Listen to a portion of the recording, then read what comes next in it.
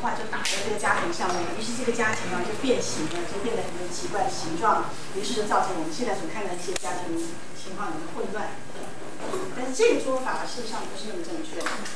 我说实在的，西方人要做什么，我们东方为什么一定要受他的影响？西方人如果爱做什么事，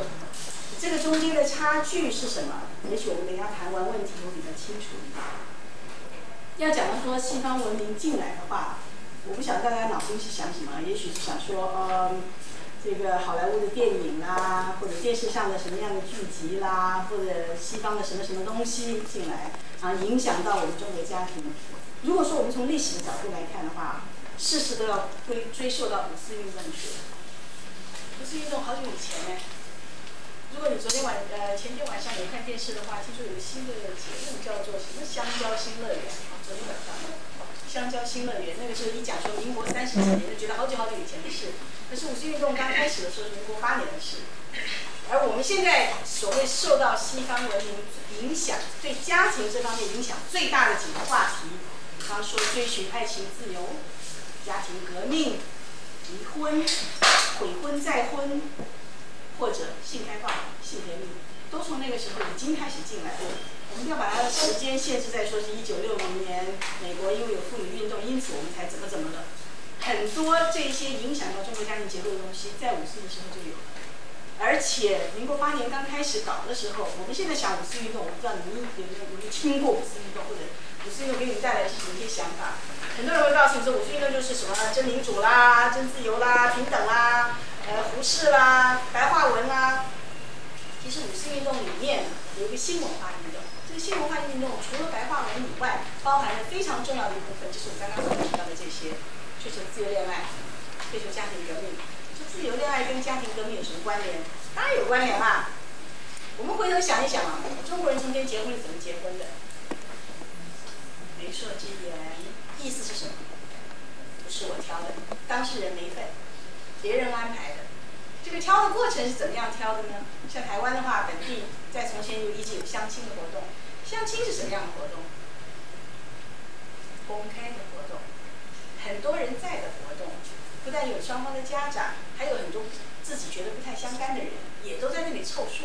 大家一起看。至于当事的这两个人有没有看呢？通常没有看。就是看了对方的皮鞋，看了那个放红包的手指长什么样子，别的都没有看。所以事实上，在我们中国的传统的这个通往婚姻之路，是一个非常非常社会性的问题，是一个社会性的事件，其中要牵涉到很多很多的人的。而这些人都有决定权，除了当事人，他们都可以说，他们都可以替你决定，他们都可以告诉你说这个比较好，那个比较不好。你呢是没什么话讲。这样子的一个安排式的婚姻，在我们某一些社会条件之下的话，是相安无事。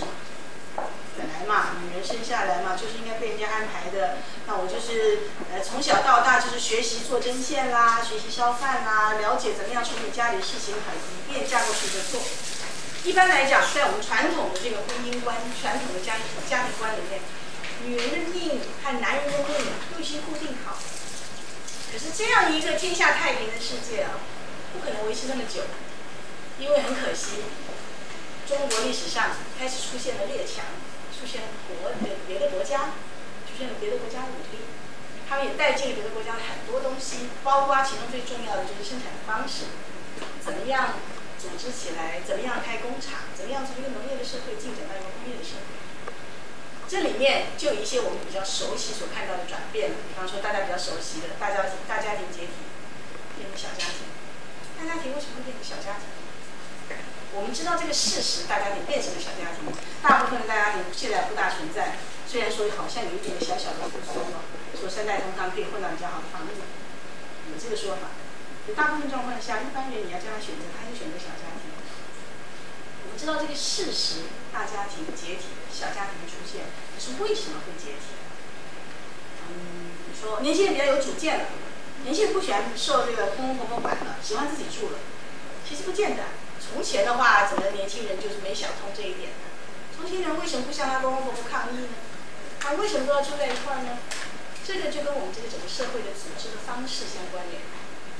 我们的社会如果是以农业为单位的话，大家也知道，种田在没有耕耘机以前的话，必须靠人力。靠人力就表示人力是最值钱的东西，牛、马这种在田里面可以工作的牲畜最有用。因此啦，一定要大家庭啊，人多才好啊。尤其如果这个人是不花钱可以雇来的话，比方说自己生，这个是不要本钱的啦，太钱不要本钱了，养当然是要的。但如果能够自己生产出这个后代来的话，越多越好啊。所以在那个时候，在这样的生产制度之下，相应的也会有一批说法，比如多子多多生就是福啦，多生一点好啦，一家和气，热热闹闹的多好啊，人多一点好，人丁单薄就是不行。听起来的话，就是大的比较好，大家比较好。这个跟当时的生产方式是配合在一起。可是妙的是，这个生产的方式逐渐在转变，机器进来了，工厂开始生产了。工厂要生产就要有工人啊，如果工人都在种地的话，到哪去找呢？所以一定要这个种地的人离开他的地，到工厂去。一定要这个种地的人开始使用耕耘机，而不用自己家里的人力，或者不要再工厂，不要再雇长工。这一些变化，这些生产方式的变迁，我们有些人说进步啊，但这些变化的话，造成了我们所看到的很多很重大的变化。当时在大陆上的话，你们都知道，上海已经有很大的一个呃工人的人口，因为那时候已经有很多的工厂出现了。可是，一般的农村的话，还是蛮保守的。所以，这些比较先进的所谓的西方的思想，在中国要生根的话，多半是在都市，而且是在知识阶层。这是为什么五四运动是北大大学生领头在那里做？因为是知识阶层比较容易吸收这个西方的东西，而且他们也比较有一个确定的目标。大家如果说上过中学的话，都知道嘛，五四运动的话，跟当时签订的各式各样的条约、各式各样的割地赔款的这些事情都连在一块儿，认为说啊，中国的部分的土地正在被出卖，所以呢，我们就应该起来改革这个国家。改革了这个国家是有很多路可以走啊，你可以民主改革，可以政治改革。可是光讲民主改革、政治改革的话，还是高知能做的事啊，知识分子做的事情。就好像现在很多人在喊啊、统啊、独啊、外省啊、本省啊，可是对于下面做的小民的话，好像没什么太大意义嘛。对我来讲，最重要的意义是台北市交通怎么那么塞？到哪里去停车？为什么我车子被人家刮了？为什么买这个东西特别贵？为什么昨天一朵玫瑰花可以买三四百块钱？而且有人还说你若不买就是不爱我。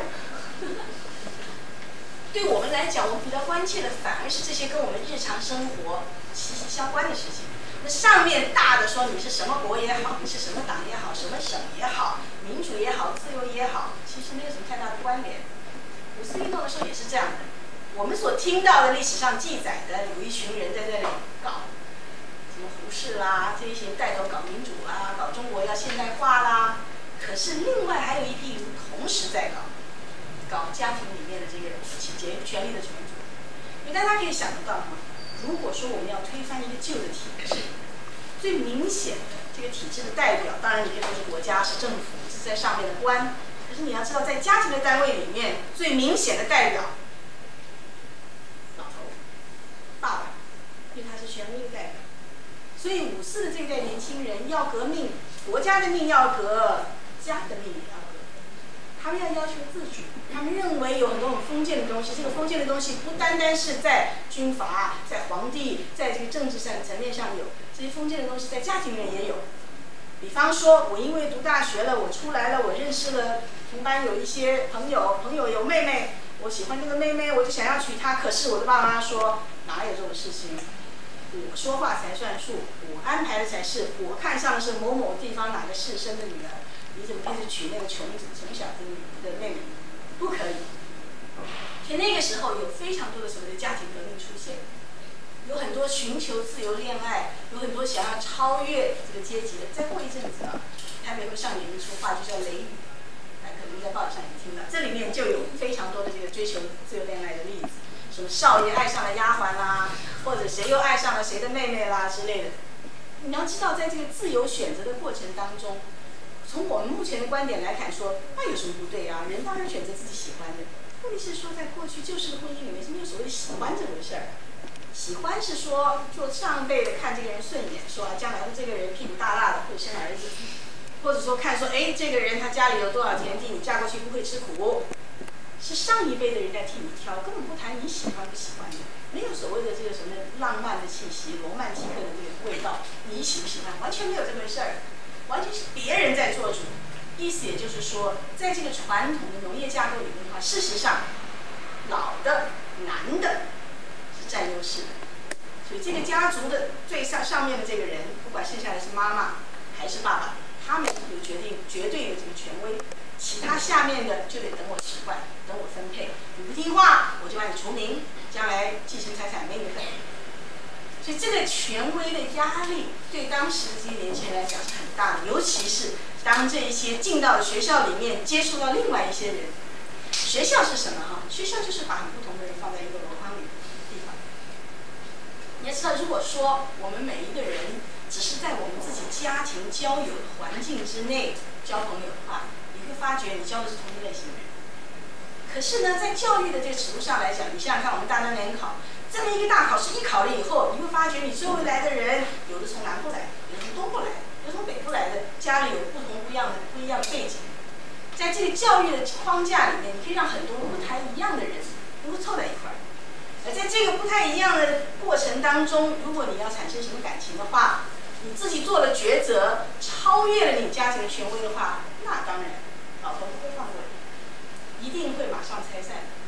在这个时候，在这样的浪潮追求国家政治层面上追求民主的这个浪潮之下。那我家里也要追民主，我要追求爱情至上，我要追求爱情为本的婚姻，我不要那个父母亲安排的什么门当户对的，我要追求爱情。那一代的年轻人往往都在追求这些东西。那这里面啊，我们在后来的发展当中可以看得出来，比方说，当共产党成立以后，大家都知道他们并不用所谓的封建名词叫做夫妻，叫什么？第一次。爱情是两个人关系的基础，这个在当时就是一个非常非常先进的说法。当然，我们在四十年恐共教育之下，我们觉得爱人是一个很可怕的名字。对于那个时候来讲是非常前进的想法，因为那个时候不再要父母亲安排的媒妁之言我不认得的乡下的那个老太婆，我要的是我自己挑选，以爱情来做基本，那是非常先进的一个口号。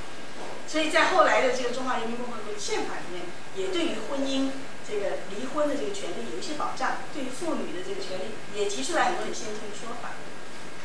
当然了，问题的发展不单单只是那一边，也有一些人跑到这边来了，就是跟着我们俩过来的这一批人。我刚才已经讲过，在当时比较先进的、比较西方的、比较开放的、比较反封建的说法，大部分是在稍微上层一点。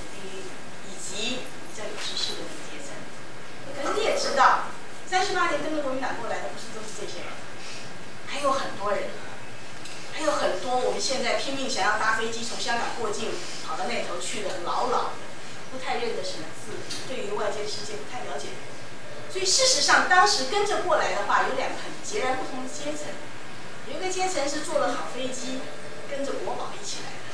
还有一些呢是拼死拼活的，带着钢盔，背着脸盆，从乡下拉夫拉上来，第二天不知道莫名其妙就上了船，然后就到了一个奇怪的地方，很荒凉的地方。这里有两种不同的人，很显然的你也知道，那个西化的思想会在某一群人当中，而另外一群人完全没碰过。在台湾本地也是一样，你也知道日本的话。他们西化并没有接受到这个西化那一部分，他们先西化的是船坚炮利，所有的改革都在这方面进展。所以在在台湾本地的民众的话，也西化的程度不不是那么样的这个强，都是蛮保守的，蛮这个传统式的。这两个圈圈的人就在台湾发展出来他们很不同的文化。现在看起来的话，你会说，哎，好像已经没这么回事了。那没错，因为我们经历了四十年了，中间有非常多的这个过程。而且这个过程还得到我们伟大的美国老大哥的帮助。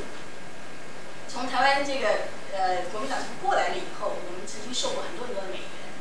我不知道你们中间有没有人曾经穿过面粉袋做的裤子，曾经拿过一罐一罐的纯马林、鲁马林，曾经到教会去领过面粉。啊，这个当时的美元是以这样源源不绝的形式，让我们觉得说啊，那个是一个好的地方，那个是一个很丰富的地方，食物很多，先先进的地方，很进步的。如果我们中国要强，如果我们要好，如果我们要过好日子的话，我们一定要像他们。所以他们的东西一定是好的东西。而且呢，那个时候慢慢的就开始进美国的电影，进了美国的各式各样画报、服装，哎，看到说，哎，他们不错嘛，怎么都有车子可以开，怎么都有这么好的地方，房子很大，院子很大，没看到围墙，每一个人都有自己的房间。我们在这些西方文化里面看到很多很多，让我们觉得很向往的东西。因为当时的台湾是一个匮乏的社会。在这匮乏当中的话，看到另外一个世界的话，我们总会看到另外一个世界在电影里面呈现出来很美的那一部分，觉得哇好，他们的东西一定是好的。我们如果要强大，一定要像他们那个样子。在这样子一个强势文化，借着影像，借着物质的丰富，向我们招手之下，我们很容易受到影响。所以为什么那个原来只有一个小圈圈享受西方文化，另外一些人没有？而现在的话，慢慢开始渗透的比较彻底了。你到乡下的地方，也可以看到七十一便利商店了，也可以吃到各式各样的东西了，也看到各式各样的进口车了，各式各样的物品都慢慢的渗透进我们这个社会。我说西方文化的时候，往往不把它限制成为说西方文化就是脑筋里的东西，就是一些价值观、一些思想、一些概念，不是的。西方的文化之所以有这些思想、有这些概念，他们为什么要讲求个人独立？他们要讲求不要赞同上一代的权威，孩子大了要搬出去住，结婚要挑选自己爱的人，不爱了就离婚。像这一些思想，其实跟他们的生活方式没有关联。这个生活方式，台湾正在向他过渡，而且在台北都会区的话，已经过渡完毕了。这样的一个生活的方式的话，是需要人不要被拘束在一个家庭的这个窠臼里面，这个框架里面。像过去我们说农业社会，农业社会靠什么？靠土地，人不能随便乱流动。人农在农业社会里还靠什么？除了土地，血脉，一定要有一些这个亲戚的关系。所以从前我们讲说中国，人情味最浓，人情味最浓，只顾自己的亲戚。你要是有路上有什么人的话，不关我的事，我只顾到我自己亲戚。在我的这个血脉相连的人中间的话，我是非常关切的。至于别的人，那不关我的事。倒不是说中国人很冷酷，而是说你可以想象嘛，如果过去就是刘家村、李家村、王家村，根本就没有什么外人流动，那到哪去找外人？我周围都是认得的人嘛，因为不流通嘛，不动嘛。我们每一地都是吃自己生产的东西，自给自足。我们充其量呢，就是哪个人到交这个别的一个城市去的时候，我就跟他说：“哎，你给我带一点花粉回来腌制。”就这么一点点东西，还有什么呢？没有嘛。你根本见不到什么陌生人，所以在我们中国的这个人情观上面，也不是我们真的对外人这么冷冷酷，而是说建立在这样的一个社会组织的方式之上，我们比较没有机会谈到说我对外人应该怎么样，因为我是这么大家人在这儿。而且因为这个建立于土地、建立于血缘之上，所以我们一个人他在这个婚姻关系里面，往往不是两个人的关系，不是你跟我结婚，而是我嫁进你家。因此，我一结婚的时候，我就发觉我突然有非常多的亲戚，而这些亲戚我都照顾照顾到。早上起来要看看这个婆婆，这个早上起来有没有饭吃；晚上的话，公公洗脚水有没有拿。各式各样的事都要管，媳妇要管非常多的事，她哪有这么多空跟她老公卿卿我我的爱爱的？要是有这样卿卿我我爱爱的，我们在电影上也看到过，那个婆婆会骂的，说这个丈夫叫玩妻丧志，是玩物丧志，玩妻丧志，就就是一天到晚抱老婆不管家里的事。这是为什么二十年前刘福柱不是有一首歌很有名吗？虽然没辛苦，哦，很苦啊，还要检查鸭有没有生蛋啊，鸡身上的肉够不够啊，那只猪今年到明年过年的时候是不是可以宰啦？所以他要想的事情很多，他要照顾的人很多，在婚姻关系里面是一个人，他一个大家庭的关系，而不是一个人他另外一个人卿卿我我爱来爱去的关系。可是这样的关系呢，就表示说这个人他是固定的。什么什么小公一起，然后他们两个又做做做，呃，啊，这这过程当中呢，他们声音又被某某人的妹妹听见了，这个妹妹呢就觉得难过，于是她又在这个房子里面这个自摸一番，然后当然这个男主角呢偶尔又撞见，于是他又跟他什么什么，然后他们俩做完了以后呢，这个男的觉得哇简直太好太棒了，他又看见那个这个小丫头的那里什么什么啊，他又去什么什么。小黄书的过程当中，很大的两个特色：一，这个男人绝对不会只跟一个女人，他跟很多女人各式各样的女人，而且不是同年龄的人，从老到少都有。第二个特色，怪，就是同样的过程，同样的说法，从来没有说解开第一个扣子，解开第二个扣子，没有，都是一上去就扒光了，都是这样子。文章里写也是这样子。很快的一个过程，马上就换一个人，好了。那再加上我们平常，你想想看，我们女生世界里看什么？我们看一群穿的非常雪白衣服跑来跑去，摩代斯，摩代斯，是吧？叠翼、折叠，我们有很多很多这些美妙的景象，什么奇沐浴乳，好舒服，那个长发怎么怎么怎么，我们看到是这些。那男人看什么吗？哎呀，干干净净，上面什么都没有。也没有看头发，也没有看你用什么肥皂洗，也没有看你穿什么，都是光光的，非常这个眼观目这个刺激啊，观的刺激很强。而且呢，他们因为这个成长过程，他们不断的搜寻这样的材料。不信，今年夏天你看一看，当你穿着那个衣服，手拿起来的时候，这旁边这个人就是从这儿看。你就捡一个东西呢，从这儿看，从这儿看，尤其现在穿短裙子以后，每一个男生做的梦想就是说他睡在楼梯下面，所有人上。这是讲真的哦，是男人，很多男人跟我坦白的说，他们这个这个成长过程是这样这样。我们必须要意识到说，我们跟他们的期待不一样。你可以想象哈，这样的两个非常不同的期待，在他们这个追求的过程当中，当然还没有起什么样的冲突，因为这个追求过程当中，你的就，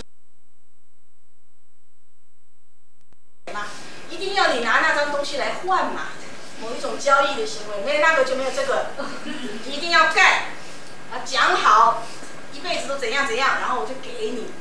我们到现在为止还是有很多东西告诉你说不要轻易给。这个东西啊，事实上是把性看成一种交易的行为，从来没有说我喜欢你，我爱你，你就怎么怎么，而是说你要给我那东西，否则我不给哦。就在过这个追求的过程当中的时候，因为很多时候男性为了要得到女人那个性，女人就不给不给，他有占某一种程度的优势。在这样条件之下的话，原先对于性的那个期待、那个冲突还没有出来，可你可以想到结婚以后。结婚以后，倒不是说他已经有了，他就不喜欢你，他不是这样子，而是说，他可能还是很爱你哦，可能还是跟你很好哦。可是你可以想象得到，他平常在整个成长的过程当中，他所受到的期待是什么？他还要别人，还要别的，他不一定是要跟那个人恋爱啊。他要搞清楚一点，外遇不一定就是恋爱的，很多时候，我前两天还在听谁在讲说什么。呃，外遇的话都是因为先有情，然后才有性，就是两个人感情蛮蛮蛮好，然后才跟他发生性关系。其实我告诉你，外遇有的时候不是这样子的，就是先有性，有的时候只有性，没有那个情的部分。那情的部分有的时候是在什么样的情况下发展？就是原来就跟太太没什么太大情，因为你要知道情很耗费体力的，谈过恋爱的人就知道那个那个彻。这这刻骨铭心，那种花很大的力气，每一秒钟你都在想他。你想想看，上班那个效